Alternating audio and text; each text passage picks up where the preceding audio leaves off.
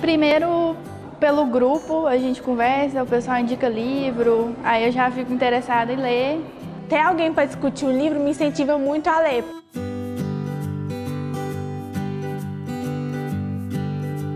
Eu acredito que a proximidade com quem lê é sempre muito boa, é uma ótima, é uma forma de fortalecer o laço com a leitura. Opiniões diferentes, sempre tem assuntos diferentes, então é um bom crescimento, assim.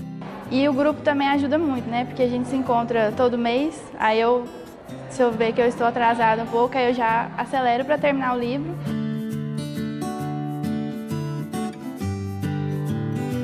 Eu sou associado da TAG curadoria desde agosto de 2017. Logo quando eu me tornei associado da TAG, eu procurei no aplicativo outros associados.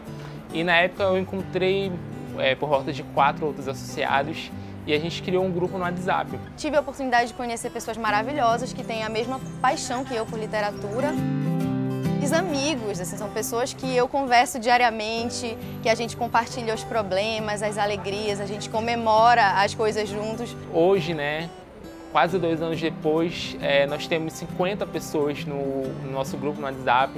O grupo, para mim, é uma famíliazinha, né? Mais ou menos todos são que nem meus filhos.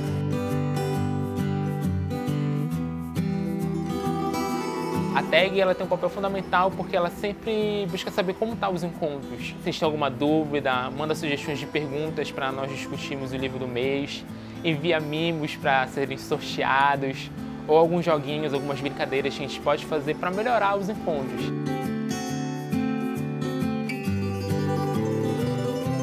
E os nossos encontros são maravilhosos. A gente se reúne todos os meses, fala sobre os livros, mas também sobre a vida, trocamos experiências, receitas também.